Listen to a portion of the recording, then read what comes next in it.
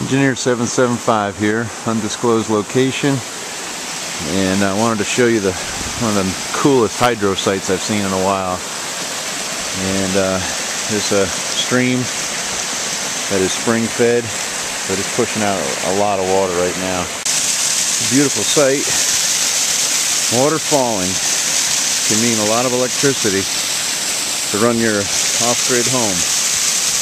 So what we're doing here is uh, fellow preppers capturing all this.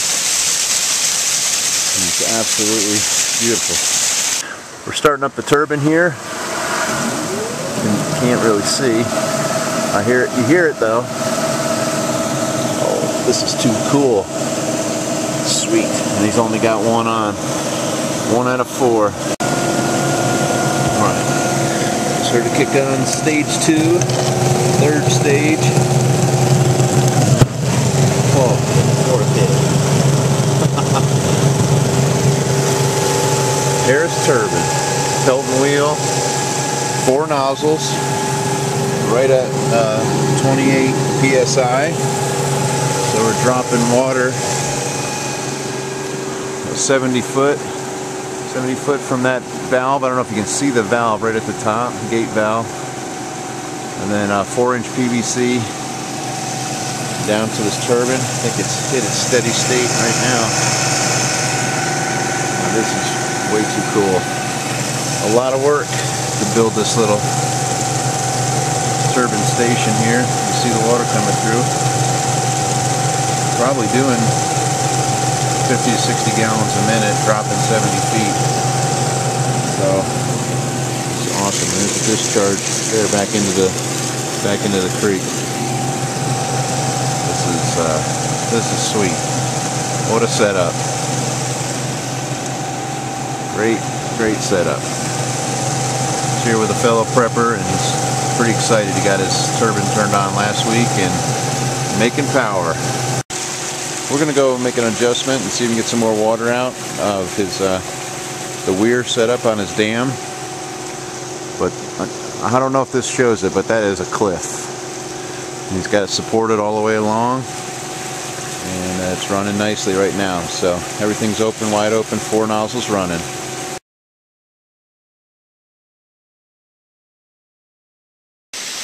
Just walking up the line here, you can see he's done a lot of work to get this line uh, right here suspended across this ravine in 4 inch PVC and the video will not do it justice for how long a line this is but uh, a lot of work a lot of work here.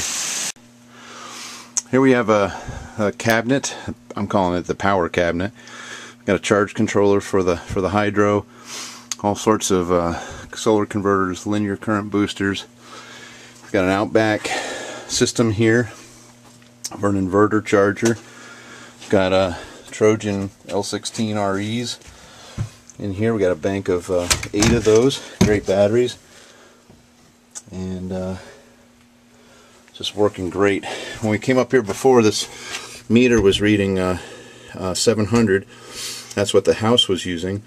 And now it's reading 190. We haven't changed anything. So it's making over, what that means, it's making over 500 watts now from the stream and we're gonna go to the top where the dam is and I'll show you the dam and we're gonna make a little seems like a lot of water's going over the weir so we're just gonna have fun playing in the water here a little bit but this cabinet was just basically built all the components were put together uh, by this fellow prepper and he's done a great job a lot of work here and uh, real cool cool system okay we're up here at the dam See the creek coming down through here. And the weir here is catching some water. Uh, we just added this front board on just to kind of back that up a little bit.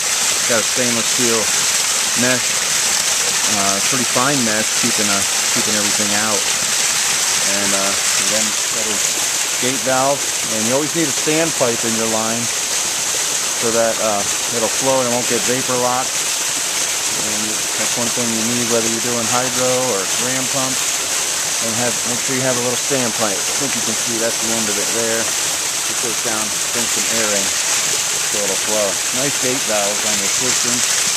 So this is the this is the catch. You can see he's not catching you could make a lot more power if you catch stream. You're probably only catching about half of what's coming through the weir here. And uh, so that's that's great news. Um, you're making 500 watts and you're only catching half your water. That's sweet. A little manifold box here. We're just experimenting with drop pipes, trying to get the air out, make sure we have all the air out for for this. We want to maximize the amount of water that this thing will deliver to that turbine. And here, folks, if you haven't seen a Pelton wheel, this is a Pelton wheel uh, used for uh, in the Harris turbine. You can see Harris right there.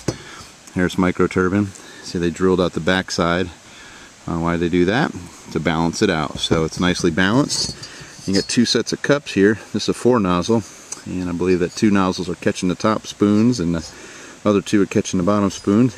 And the neat thing about a, a Pelton wheel is when the water, the jet actually hits the wheel, all the energy that's coming out of that nozzle is is dissipated. When it when it hits that wheel, it uses up all the energy. There's not water flying past the wheel when it's up to speed. So it's a an impulse turbine setup. It's an awesome thing.